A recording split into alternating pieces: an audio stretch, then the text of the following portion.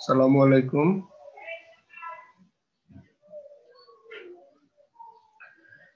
ক্লিপস্টোফেলের আজকের ক্লাসে সবাইকে স্বাগতম। আশা করি আপনারা আপনারা আমাকে শুনতে পাচ্ছেন।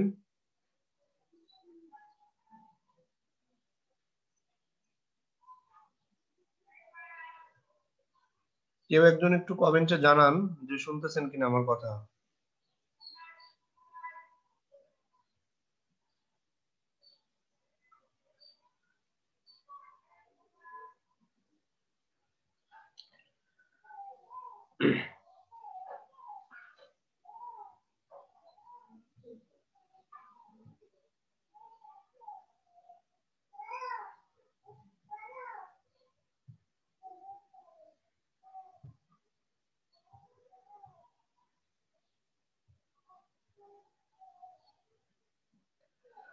আজকে আমাদের ক্লাস হওয়ার শুরু শুরু হওয়ার কথা এখান থেকে ওয়ান এইটি পেজ থেকে।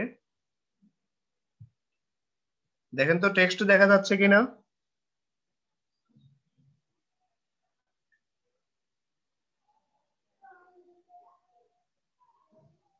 কথা শোনা যাচ্ছে?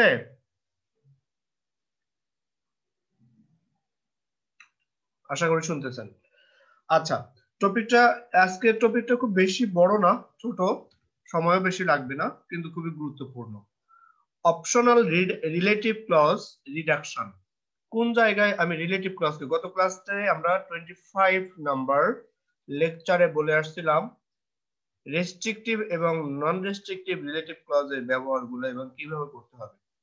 এখানে বলতেছে optional relative clause reduction optional বলতে অতিরিক্ত যেটা প্রয়োজন নয় রিলেটিভ ক্লজ যেটা সেটাকে রিডিউস করব রিডাকশন করে বাদ দিতে পারব অর্থাৎ বাদ দিলেও যে অর্থ থাকবে থাকলেও একই ধরনের অর্থ থাকবে যেমন দেখে আমরা পড়তেছি In restrictive relative clauses, it is possible to omit the relative pronoun and the verb be.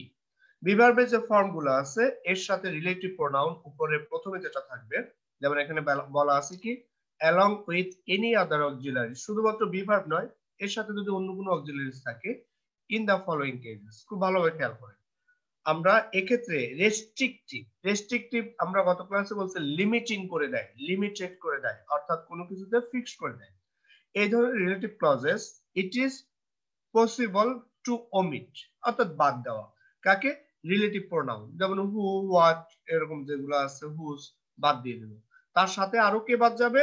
The verb be B ছাড়াও অন্য যদি কোনো অক্সিলারি ভার্ব থাকে, যেমন আপনি এখানে দেখেন। Before relative clauses in the passive voice খুব ভালোভাবে খেয়াল করেন।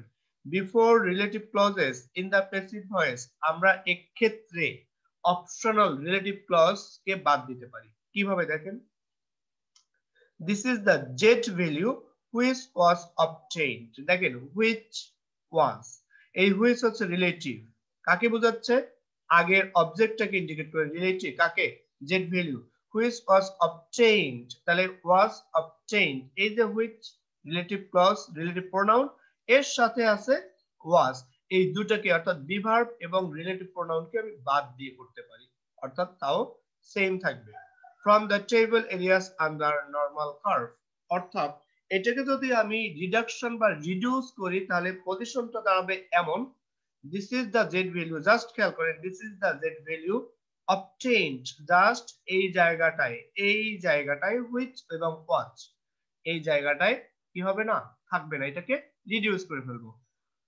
This is the Z value obtained from the table areas under the normal curve যারা টিউশন করান বা স্টুডেন্ট পড়ান, বিশেষ করে ভয়েস চেঞ্জ করতে গেলে বা অনেক ধরনের সিম্পল সেন্টেন্সে গিয়ে এই ধরনের প্রবলেমটা ফেস করেন। স্টুডেন্টরা প্রায় কোশ্চেন করে স্যার এই জায়গায় this is the value obtained from the table areas under the normal curve এই জায়গাটায় পেসিভ পেসিভ মনে হয়, কিন্তু সেখানে ইয়াটা নাই কেন? এখানে অক্সিলারি ভার্ব নাই কেন? তখন আপনি কিন্তু এই আনসারটা এই আনসারটা দিয়ে আসতে পারবেন। ক্লিপস টোফেলের পেজ নাম্বার 180 পেজে অপশনাল রিলেটিভ ক্লজ রিডাকশন নামে একটা পার্ট আছে। সেখানে রিলেটিভ প্রোনাউন এবং অক্সিলারি ভার্বকে আমরা রিডিউস করতে পারব। এবং এই রিডিউস করার সত্ত্বেও সে পেসিভ ভয়েস হবে। এই যে পেসিভ ভয়েস রূপে। এই যে কোথায় বলছে? Before relative clauses in the passive voice কথা বোঝা যাচ্ছে? কি বলছে? আবার একটু রিপিট করে বলি শেষবারে। অপশনাল রিলেটিভ ক্লজ কে আমরা রিডিউস করব। এই জায়গা থেকে রিলেটিভ প্রোনাউন আর অক্সিলারি ভার্বকে বাদ দিব। বেসিক্যালি বলছে বিভার্ব তবে অন্য অক্সিলারি যদি তার সাথে থাকে, হতে পারে। যেমন জাস্ট হুইচ এবং ওয়াজ বাদ দিচ্ছে তাহলে আমি আরও একটা দেখি। কথা কিন্তু মেইন কথা কিন্তু হয়ে গেছে। এখন শুধু উদাহরণগুলো আমরা দেখব। Before prepositional phrase prepositional phrase হচ্ছে প্রেপোজিশন দিয়ে শুরু হয়, আর শেষ হয় কি দিয়ে? প্রেপোজিশন আর নাউন দিয়ে। তবে প্রেপোজিশনাল ফ্রেজ এমনও আছে প্রেপোজিশন দিয়ে শুরু হয় এবং প্রেপোজিশন দিয়ে শেষ হয়।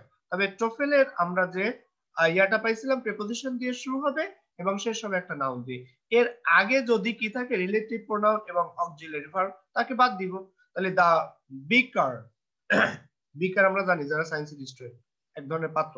দা বিকার দ্যাট ইজ তাহলে বিকারকে ইন্টিগ্রেট করতেছে এই দ্যাট এবং ইজ এই কথাটা আমি বাদ দিয়ে করতে পারি। দেখেন নিচে the beaker on the counter তাহলে দ্যাট ইজ কথাটা নাই। Contains a solution contains a solution আমি কি করলাম?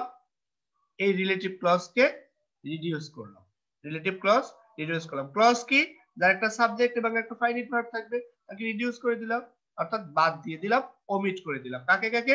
রিলেটিভ প্রোনাউনকে এর সাথে অক্সিলারি ভার্ব বি অন্য কোনো ভার্ব যদি থাকে। তাহলে গেল কোথায়? আমরা প্রিপোজিশনাল ফ্রেজ এটা প্রিপোজিশনাল ফ্রেজ এই এতটুকু অন দা কাউন্টার তার আগে রিলেটিভ ক্লজকে ওমিট করে দিলাম। গুড গেল।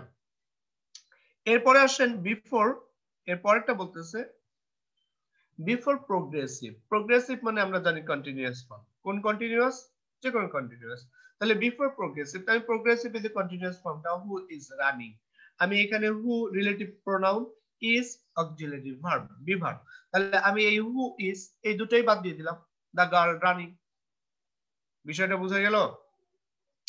The girl who is running down the street might be in trouble. The girl running down. তাহলে who আর is এইটুক আর থাকল না The girl running down the street might be in trouble. এবার পরে আসতেছে আমরা গেছিলাম কিন্তু শুরুতে কিন্তু করছি সব রেস্ট্রিকটিভ ক্লজের কথা এখানে একটা কথা বলো যে নন রেস্ট্রিকটিভ ক্লজেও আমরা এইভাবে কাজটা করতে পারি কীভাবে সেটা দেখতে কিছুটা অ্যাপোজিটিভের মতো মনে হবে। এটা কিন্তু এক ধরনের অ্যাপোজিটিভের মতো। সেটা হচ্ছে রিলেটিভ প্রোনাউন রেখে আর একটা হচ্ছে রিলেটিভ প্রোনাউন বাদ দিয়ে। অর্থাৎ অতিরিক্ত তথ্য দেয়। আমি একটু আগে বলতেছি, এখানে পড়ার আগে অতিরিক্ত তথ্য দেয়। Mr Jackson. জ্যাকসনটাকে who is a professor আমি হু ইজ যদি বাদ দিই রিলেটিভ প্রোনাউন হু আর ইজ হচ্ছে বি ভার্ব যেটা, অর্থাৎ ভার্ব বাদ দিলাম। মিস্টার জ্যাকসন আ প্রফেসর আমি সেন্টেন্সটা কিন্তু এভাবে লিখতে পারতাম। A professor is travelling in the midst this year তাহলে a professor who is a professor Mr Jackson তার মানে হচ্ছে একটা, একটার সাথে ইন্টারলিঙ্কড তার মানে একটা, আরেকটার অ্যাপোজিশন অর্থাৎ অ্যাপোজিটিভ হিসেবে ব্যবহৃত হলো। এবার দেখেন এটা হচ্ছে নন রেস্ট্রিকটিভ ফর্ম কি আছে? It is also possible to omit the relative pronoun and the verb be in non-restrictive clauses before the noun, before noun phrases. ভালোভাবে খেয়াল করেন। নাউন ফ্রেজ নাউন ফ্রেজ কি? নাউন ফ্রেজ কি বলেন তো? নাউন ফ্রেজ হচ্ছে ending with noun phrase ending with noun তাহলে আগে কি হবে?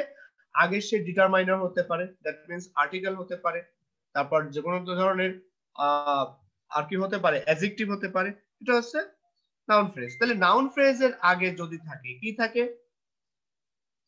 নাউন ফ্রেজের আগে কি থাকলে? রিলেটিভ প্রোনাউন এবং বিভার অথবা যে কোনো ভার্ব যদি থাকে, তাকে আমরা বাদ দিব। একদম ইন্টারমিডিয়েট এর মডিফায়ার পার্টস এর মডিফায়ার যে পার্ট পার্টটা আছে, ওই পার্টে আপনার অ্যাপোজিটিভ এর মতো কাজ করবে। It is also possible to omit the relative pronoun এই রিলেটিভ প্রোনাউনকে ওমিট করা এন্ড ভার্ব বি এবং বি ভার্বকে ব্যবহার করা ওমিট করা বাদ দেওয়া যায়। কোথায়? In non restrictive clauses before noun phrases এই নাউন ফ্রেজেস এর আগে আমি নন রেস্ট্রিকটিভ ক্লজ পুরোটা তাকে আমি এখান থেকে রিলেটিভ প্রোনাউন এবং বি ভার্ব বাদ দিতে পারব। মিস্টার জ্যাকসন হুইজকে বাদ দিলাম? প্রফেসর কমা এখানে কমা থেকে যাবে, বাকিটা বসে যাবে। একদম কার মতো হচ্ছে? অ্যাপোজিটিভ এরপরে আসছি, এখান থেকে আপনারা একটু পড়ে ফেলবেন, এই যে এক্সারসাইজগুলো পড়ে ফেলবেন, নিজেরা পারবেন, আশা করি। আমরা আসলে তো এক্সারসাইজগুলো একটাও করাই নাই। এক্সারসাইজগুলো, অর্থাৎ জাস্ট এগুলাকে আপনাদের উপর কাজ দিচ্ছে, এগুলা দেখি পরবর্তীতে করানো লাগতে পারে। যদি লাগে, আস্তে ধীরে আপনারা যদি না পারেন, তাহলে আমরা করাই দেব। দ্যাট দ্যাটের ব্যবহার।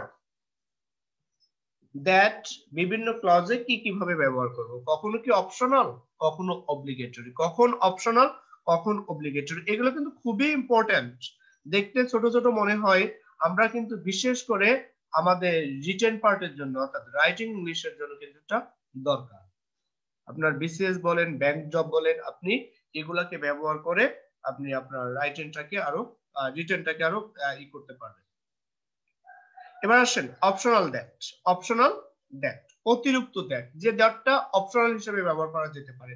অর্থাৎ এই দ্যাটের আমার সেন্টেন্সে কোনো প্রয়োজন নাই, অর্থাৎ সে কোনো সেন্টেন্সে ইনফ্লুয়েন্স অথবা ইম্প্যাক্ট ফেলে না।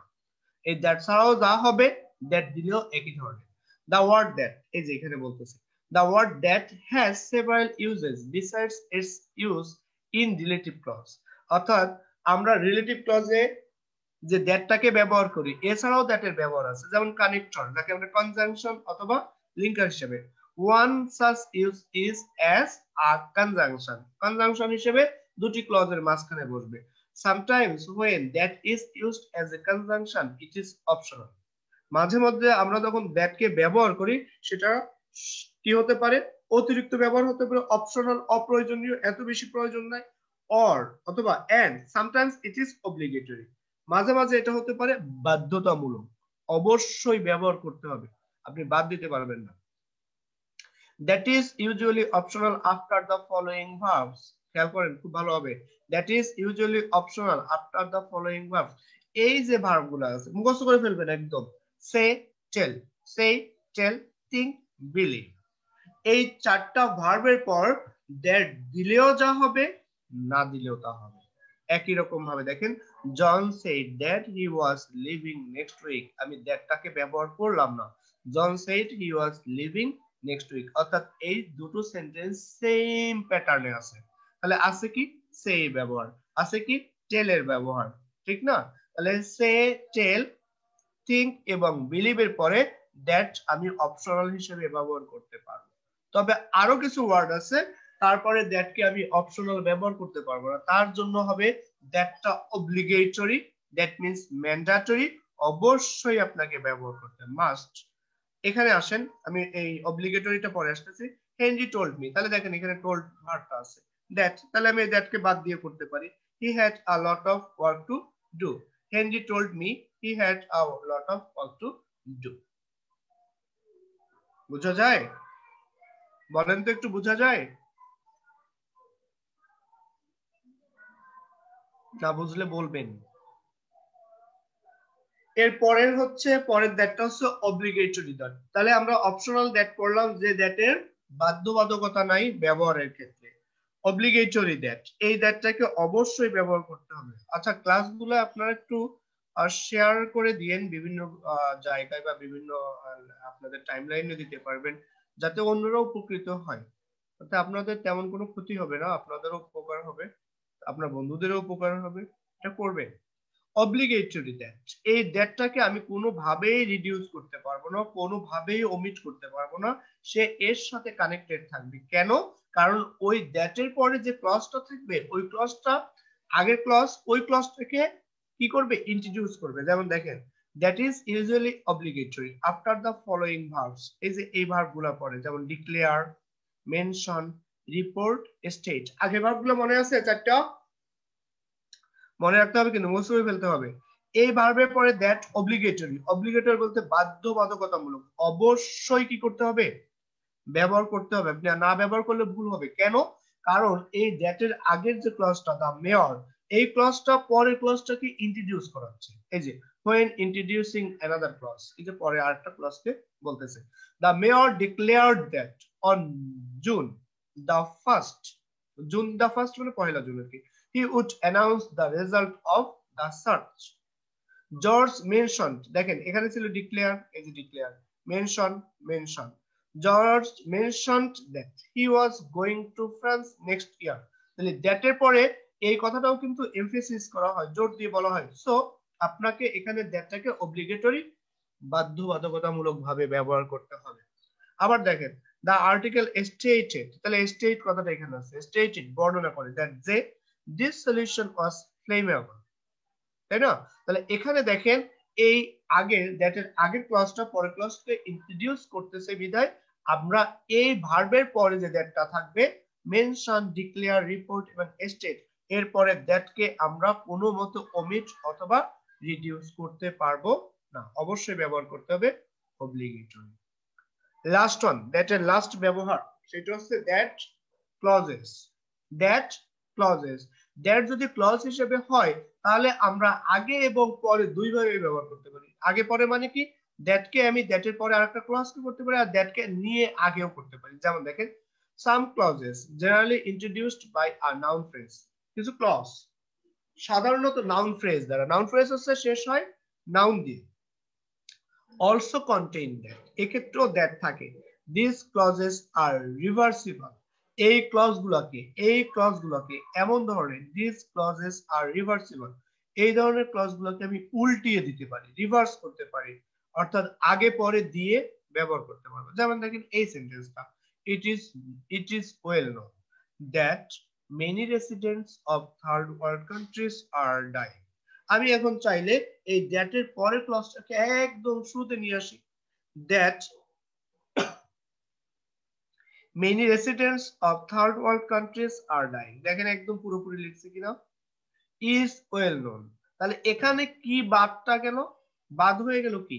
এই ইট এই প্রোনাউনটাকে আর লেখা লাগে নেই। আমি ভার্ব থেকে শুরু করে বাকিটা লিখে দিলাম। অর্থাৎ এইটাকে বলা হচ্ছে ক্লজের রিভার্সিবল অর্থাৎ ক্লজকে আমি রিভার্স করতে পারি, স্থান পরিবর্তন করে আগে পরে নিতে পারি, উল্টিয়ে দিতে পারি। এক্ষেত্রে সাবজেক্টকে আর দরকার হবে না। এই পুরোটাই এবার একটা সাবজেক্ট হিসেবে কাজ করবে, এই পর্যন্ত। It is known it is well known আমাদের কাছে খুবই ভালো জানা। কি ভালো জানা? এই বাকি অংশ হচ্ছে, আমি কমপ্লিমেন্ট হিসেবে যদি ধরি, তাহলে এটাকে আগে নিয়ে পুরোটাকে সাবজেক্ট করা হলো, এবার এটা ভার্ব থেকে বাকি অংশ বসে গেল এক্ষেত্রে কিন্তু দ্যাট যুক্ত ক্লজকে আমরা রিভার্স করতে পারব। নোট করি একটু নোট কি আছে? If a sentence begins with a that clause একটা সেন্টেন্স যদি দ্যাট ক্লজ দ্বারা শুরু হয় বি শিওর আপনি অবশ্যই নিশ্চিত হবেন এই যে দ্যাট দ্বারা যদি শুরু হয়। কোন দ্বারা? দ্যাট দ্বারা শুরু হবে শুরুতেই। Be sure that both clauses contain a verb দুটি ক্লজে অবশ্যই ভার্ব থাকবে। Both clauses contain a verb যেমন then it surprises me surprise একটা ক্লজ আছে ভার্ব আছে। দ্যাট দ্যাটের পরে। জন উড ডু এখানে আছে ভার্ব ফ্রেজ তাহলে কন্টেইন অবশ্যই ভার্ব এবার দেখেন আমি যখন দ্যাটকে আগে দিয়ে দিব দ্যাট জন এই যে এখান থেকে that John would do such a thing that John would do such a thing এবার ইট আর থাকল না।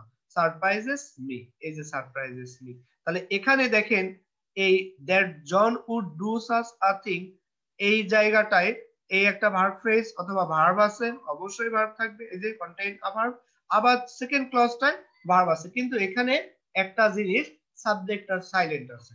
এই যে যে ইটটাকে আমি আর এখানে ব্যবহার করব তাহলে ভার্ব কিন্তু দুইটা আছে, এখানে যেটা বলল কন্টেইন আ ভার্ব তাহলে দুটো ভার্ব কিন্তু দুটো ক্লজে অবশ্যই থাকবে।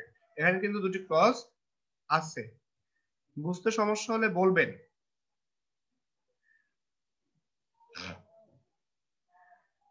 পরেরটায় আসি। It wasn't believed until the fifteen century that কি বিলিভ করা যেত না? The earth revolves around the sun মানে রিভলভস মিন্স মুভস আর কি। তাহলে আমি এই অংশটাকে দ্যাট এর পরের অংশটাকে আগে নিয়ে নেই। দ্যাট দ্য আর্থ পুরোটা মিলে কিনা দেখেন that the earth revolves around the sun revolves around the sun তাহলে ইট আর এই ইন্ট্রোডাক্টরি ইট আমার দরকার হবে না। Wasn't believed until the 15th century সব বসাই দিলাম আমি যদি পরেরটায় যাই it is obvious that the Williams boy is abusing drugs তাহলে that the William is that the William boy is abusing drugs is it obligatory থাকল না এটাকে obligatory হিসেবে ব্যবহার করব না অর্থাৎ এর বাধ্যবাধকতা নাই অর্থাৎ ইট হচ্ছে ইন্ট্রোডাক্টরি সাবজেক্ট এখানে আর ব্যবহার করে is obvious is obvious আমি যদি বলি যে what is obvious এই টোটাল আগেরটার পরিবর্তে যদি আমি হোয়াট আপনাকে কোশ্চেন করি হোয়াট ইজ অবভিয়াস তার আনসারটা হবে that Williams the boy is abusing drug পুরোটাই হচ্ছে এখন সাবজেক্ট হিসেবে ব্যবহার করা হবে দ্বিতীয় সেন্টেন্সে এখানে, এখানেও একটা ক্লজ আর এখানেও একটা ক্লজ এখানেও এই যে একটা ক্লজ এই একটা ক্লজ যখন আমি এটাকে রিভার্স করব, তখন আমাকে আর দ্যাট এখানে ইটটাকে আর মেনশন করতে হবে না। আশা করি বুঝছেন? আমরা আজকে একটু শর্ট করাচ্ছি, কারণ পরের টপিকটা ভিন্ন তো, এই জন্য আমরা এটার সাথে লিংক করতেছি না। আমরা নেক্সট ক্লাসে সাবজেক্টিভ থেকে আপনাদের শুরু করব ইনশাল্লাহ সবগুলা এইভাবে হবে। তারপরে ইনক্লুসিভ কি কীভাবে আপনার অতিরিক্ত তথ্য জন্য ইনক্লুশন করতে হয়, আমরা নেক্সট ক্লাসে করব। তো ঠিক আছে, আমরা আগামী ক্লাসে একশো তিরাশি পেজের সাবজেক্টিভ থেকে শুরু করব ইনশাল্লাহ সেই পর্যন্ত ভালো থাকবেন। আপনারা অবশ্যই ক্লাসটা ভালো লাগলে শেয়ার করবেন। কারণ শেয়ার করলে আপনাদেরই, বন্ধুদেরই উপকার হবে। থ্যাংক ইউ আসসালামু আলাইকুম।